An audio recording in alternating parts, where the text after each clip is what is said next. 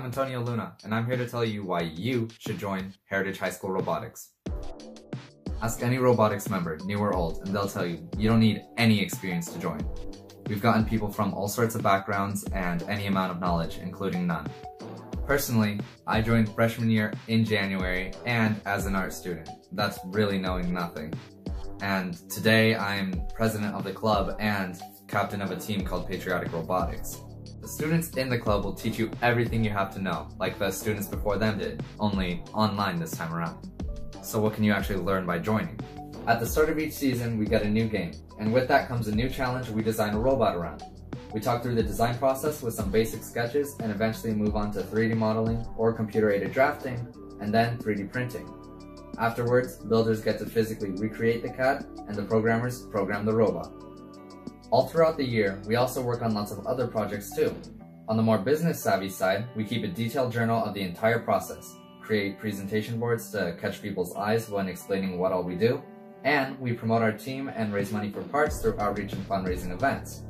Speaking of which, we also create banners, stickers, pins, laser engraved wood or cardboard projects, and a lot more using bigger and way more advanced tools. And finally, like you're seeing here, we make lots of videos throughout the year. And with all that being said, we would really love for you to be able to join us and become a part of our robotics family. And we could pass all this knowledge on to you while we have fun doing it. So join one of our many teams in our Google Meet every Friday from 1245 to 3.30. Again, Google Meet on your student account and use code HHS Robotics to join.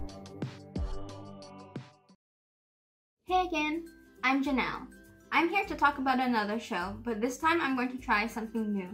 So here I have a box with different shows in it, and here I have a box with with different time time limits in it.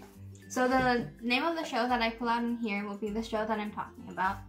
And the number that I pull out from this box will be how long I have to talk about it. So let's get started. I could shuffle it. Okay, so today's show will be Sassy Go-Go. And the time I have to talk about it is um, 30 seconds. So let me set my timer first. Um, I have 30 seconds to talk about Sassy Go-Go and my time starts now. So today's show is Sassy Go-Go. Um, the story is about, they take the the top ranking students at school and the bottom ranking students at school and they put them together to make a cheer team. So it's kind of interesting how they interact with each other because they don't really like each other. And the top students kind of act like better than everyone and the cheer the dance kids, the lowest, the bottom students don't really care that much. So overall, it's like, I didn't even get to say anything. Um, so that's my time limit. I ran out of time. Um, so yeah, that was Sassy Go-Go. Hope you liked it. So that was today's show, and I hope you enjoyed it. That's it for now, and thanks for watching.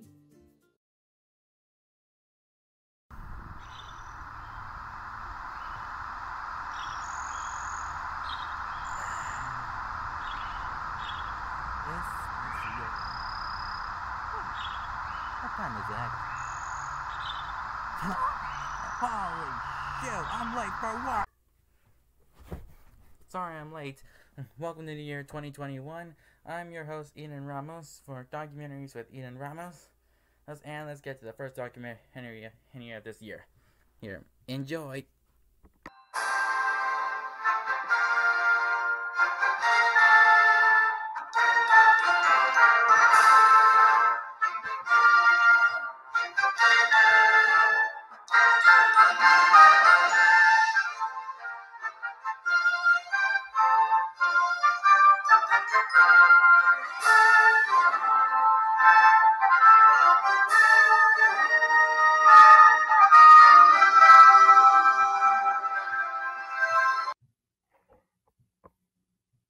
This document is about uh, the Tokyo Olympics of 2020. The Summer Olympics is the biggest sporting event in the world, bringing more than 10,000 athletes from dozens of countries together every four years. It's extremely rare for the Summer or Winter Olympics to be postponed or canceled. Since 1896, when the modern Olympic Games began, it's only happened six times and it usually requires a war.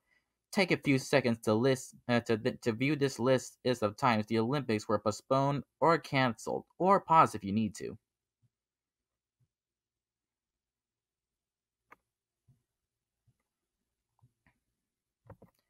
Due to COVID 19, the 2020 Olympics were rescheduled to July 23rd, 2021.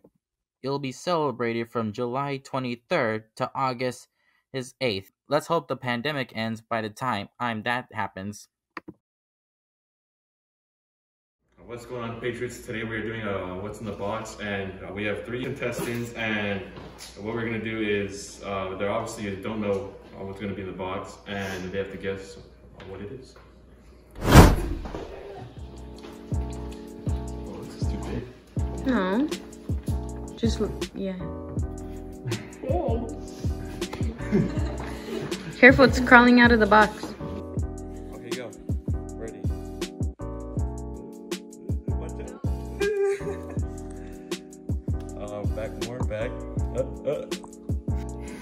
Oh, watch out, What is moving, that? it's moving. Pokey.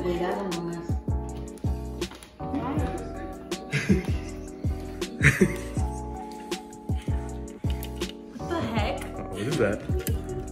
It feels like a Starbucks cup that Juana would have with rhinestones What on the heck? You got it right. What the heck? Oh, you can take it out now. Take it out. No way did I get that right. Yeah, you got it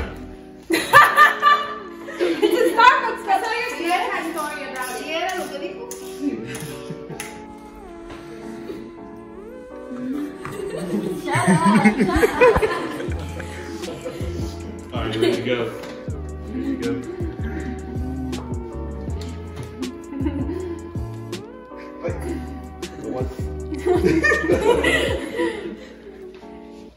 Oh, it's gonna move. It's gonna jump. Oh, watch out, watch out. You It's plastic. I feel it. I don't know what it's talking about.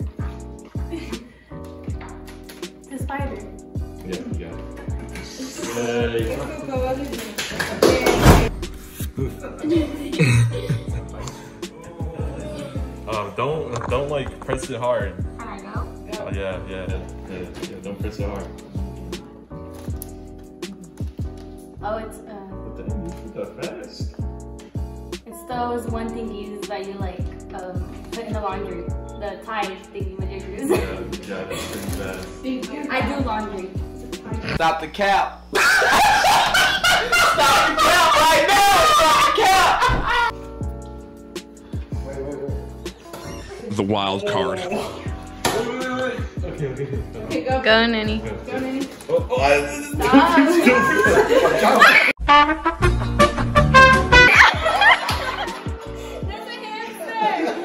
What just happened? How deep do I have to dig to get to the ocean? All right, you got. Uh, it might bite you, but you start now. Yeah.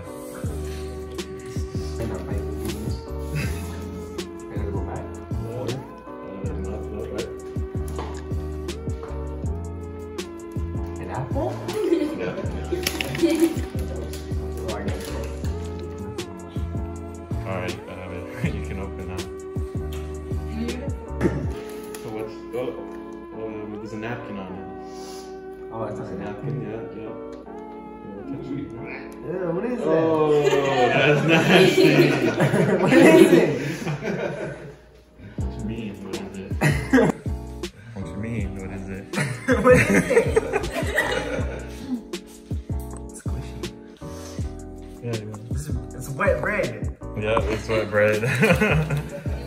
yeah, roll up your sleeves. Roll up your sleeves. Yeah, roll up your sleeves. Yeah. But it's near the top. Near the top of the box.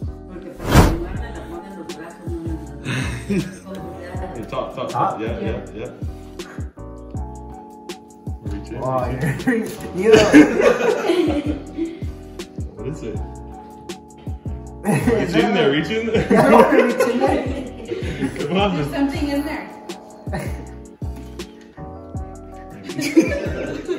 Yo, that's pointing on.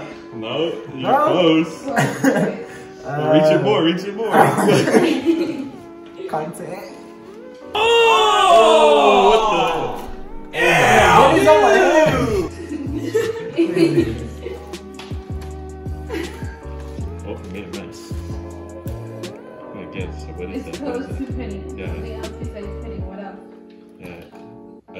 Healthy. Like Yogurt? strawberry, yeah. Okay. Oh, but it's gone off yogurt. The, yogurt hands on top the yogurt's expired. Thank you guys for watching, and um, I hope you guys have a good day, and thank you guys for joining. You're welcome.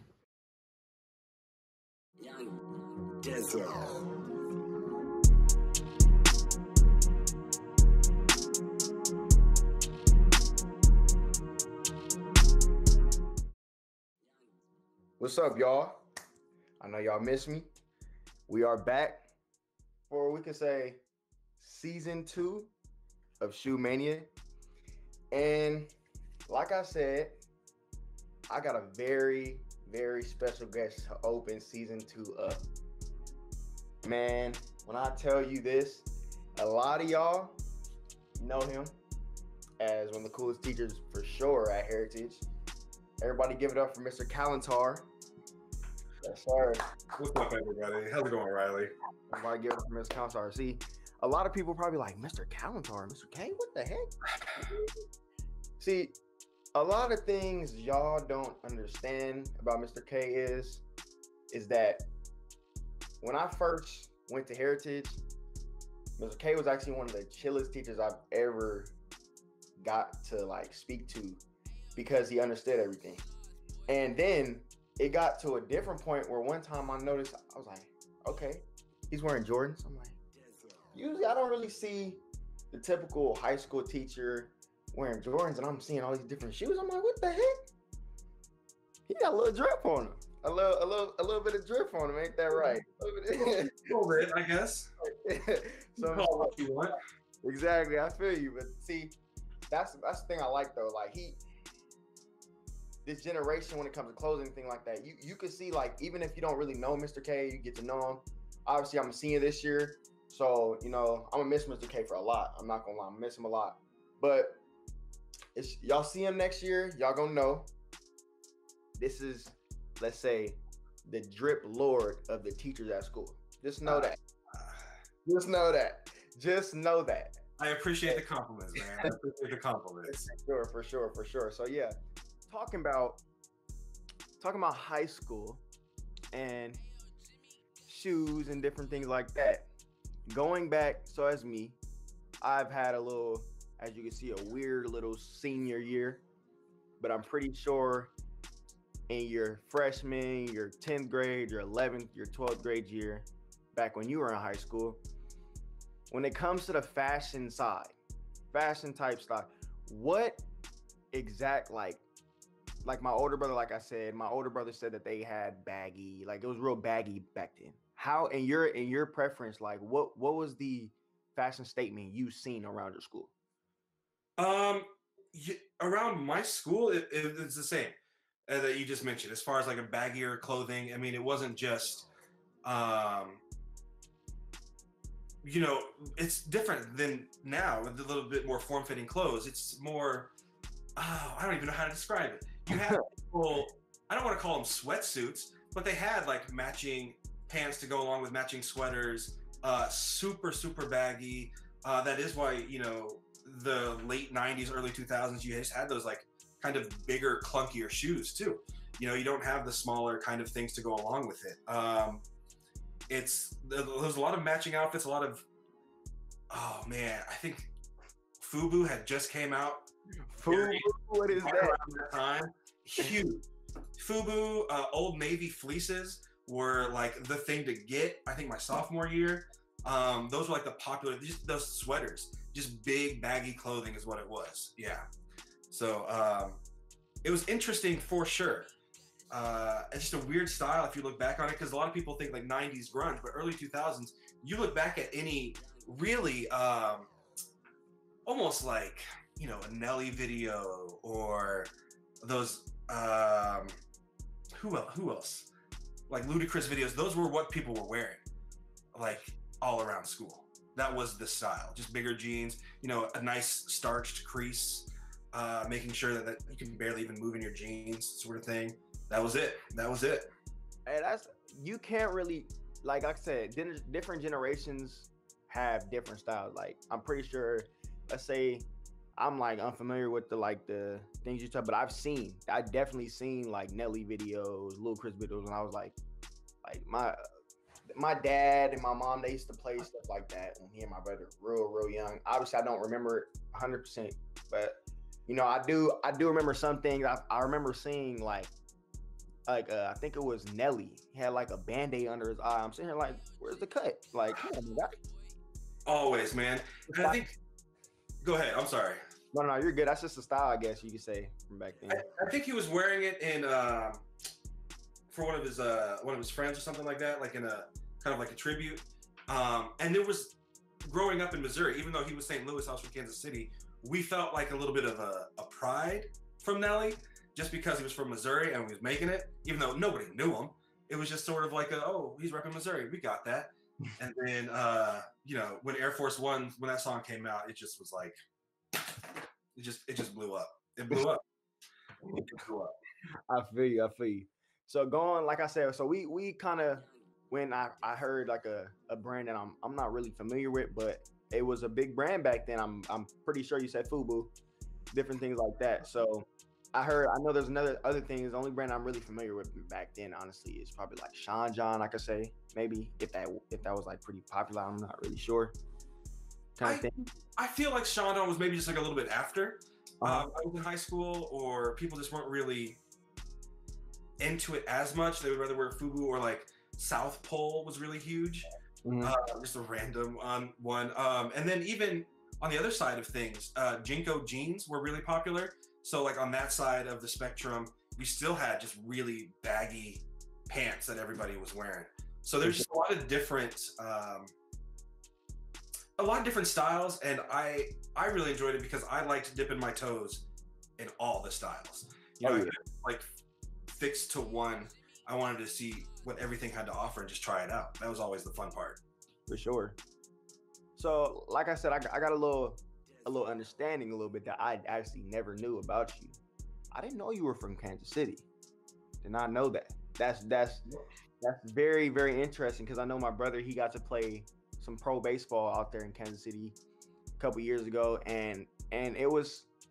I, I never got to go to Kansas City or anything, but uh, he he didn't come back to California for a minute, so he seemed probably to like it a little bit. So he probably liked the switch of it because he's grown up in California. So like, like I said, also, how was the transition from Kansas City to California? Um, to me, it was huge. So I knew that. I think I had visited like, uh, well, I visited California once when I was in high school, like on a family trip. Um, but even before then, when I was like in middle school, I went to New York City, and I think then I knew I was like, I need to get out of Kansas City.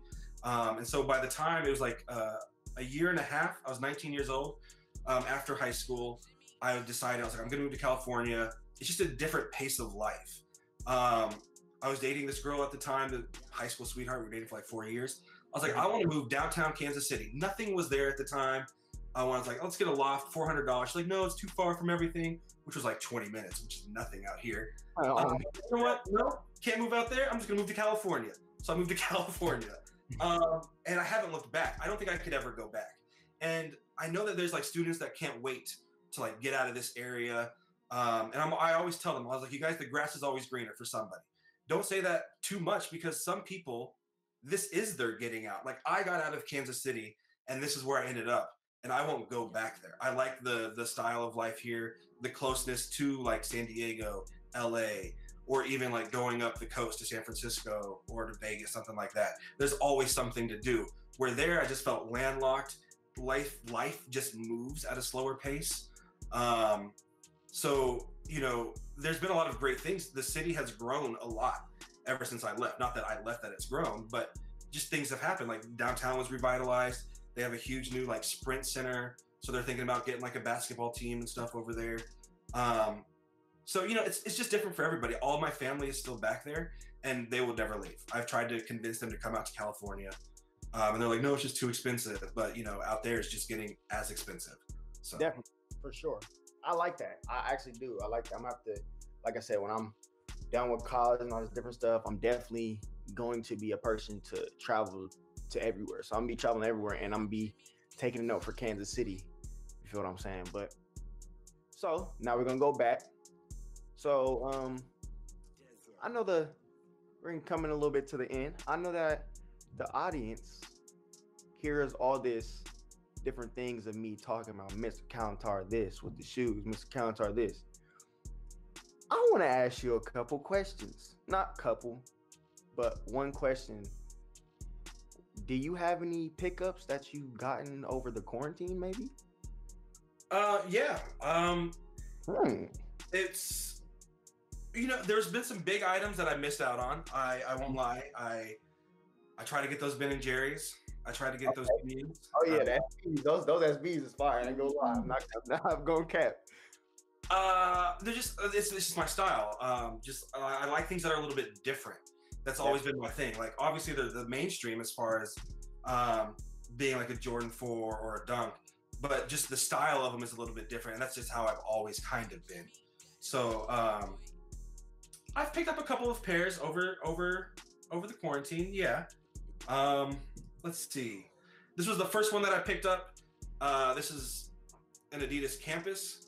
Um, it's a it's a collab between a Japanese retailer and a Recouture um, over there that just kind of puts shoes back together. So that's why you have these different um, pieces of material just kind of making up the shoe.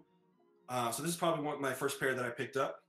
Those are clean. I like the I like the colorway. I'm not even gonna lie. That that just like you if you have it with a good that's one that's the thing about shoes is you don't even have to have the best fit in the world. If you have like a good shoe that can stick out your fit would that will definitely cover up your fit. Yeah. Um, I, I thought it was pretty sweet, like the suede just coming down over the sole there, uh, not on that side, that sort of thing. Uh, that was the first pair that I picked up. Well, it wasn't the first pair. I didn't bring that shoe over here. You you had shown some uh, some Crocs in your last video. Adidas released some Crocs, and I picked those up. I picked them up. I didn't even know that. That's lucky fire. I ain't gonna cap. I'll have to I'll have to send you a picture so you can Sure. look it up. Definitely. Um, these are a pair that I've always wanted, and then when uh,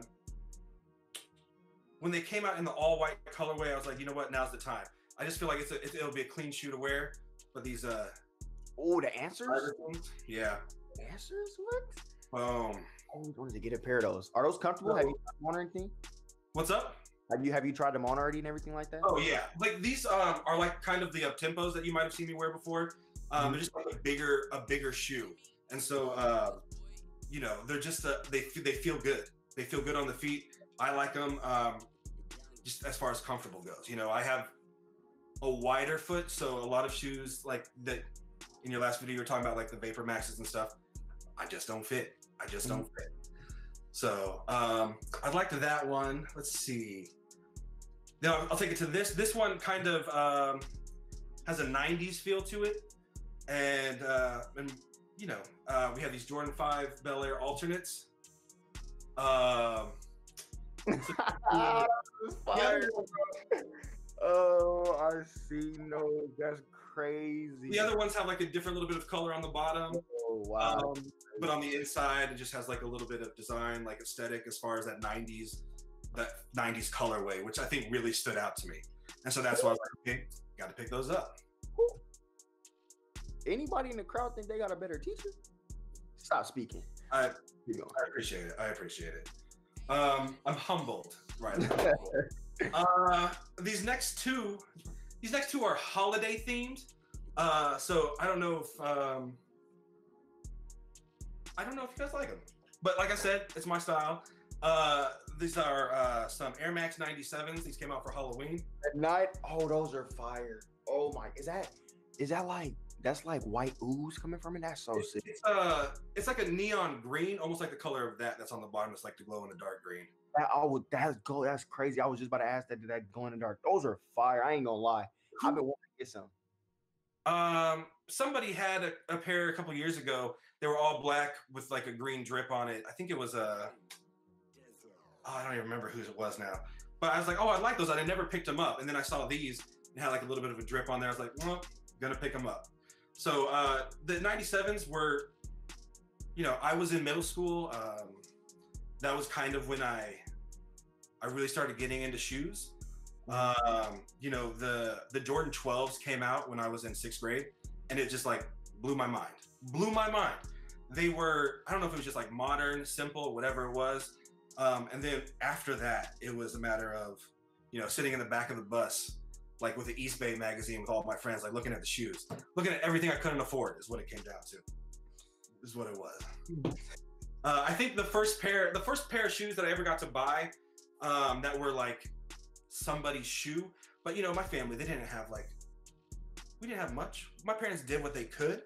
Uh, so I never was able to get like Jordans. Um, that's why I have Jordans now. I have the uh, like Scottie Pippen's up tempos that I'll wear. And so I, I rounded it out when I was in seventh grade. Uh, you can post up a picture. I got some Dennis Rodmans. They were like these Converse All Stars, and they were like, you know, they were a little bit cheaper than everything else. But I felt like I was on top of the world because I had these like Dennis Rodman shoes. And you know, that's just the Bulls. The Bulls were like big at that time, right when I was in middle school. So, um, brings me to my, my last pickup, my most recent pickup for uh, quarantine. Let's see it. For good one, Miss Counter. People are gonna. I don't know what people are gonna think. I have a couple pair of Air Force Ones. Uh, you know, just like we're talking about, like Nelly, uh, just brought them out, brought them out. Um, you know, some lows, some highs. There's a holiday themed one that just came out. Boom, the Christmas sweater. Like uh, you have. Those are definitely. Those are definitely. Those are. You know what those remind me of? Those remind me of. Goodness, what's the shoes that Adidas made? I'm talking about colorway style. They're fire. Like like a bunch of rappers wear them all the time, and it has like some of them have fur on them. You know what I'm talking about? I. Oh at the moment, I'm blanking, but I, I bet you if I see it, I would know. what are they called? Oh my goodness. I can't remember. It's a it's a it's a name of a person, but it's like it's just, those those those are what those shoes remind me of because they're so like you definitely see those and you're like, dang, like because it looks it literally that looks like a Christmas just that's it spells Christmas all over it. Yeah, it's a it's like a Christmas sweater material on the toe and on the tongue on the inside. It's like fur, um, and then you just have this like nice this that's fire. beautiful leather, man. Uh, um, so far, these are my quarantine pickups. Uh, still that's- trying to get those big boys, you know. I feel you. All right, y'all. Like I said, this this this one is different. This one is definitely different because everybody's so used to me interviewing people who are, oh, this is this, but this is Mr. Kalantar. This is a teacher, so you can't say anything now. You can't you you can't say anything now because there are definitely even even if it's a teacher or anybody like that, there are definitely people out there that beyond beyond what age, what what thing they do, anything. There are sneakerheads. There's probably an 80 year old sneakerhead out there collecting more shoes than you are. So don't mm-hmm. just, can't just like I'm saying, you can't just you can't just do anything or judge a book by its cover because obviously Mr. Car Mr. K got the drip. So like I said, y'all, this was this was sneaker game. And this is like a sneaker game to me. So this is Shoe Mania, y'all. And Mr. Countar, thank you for being on here. I Been an appreciate honor, man. all the time, of course. And we're out. Young Dizzle.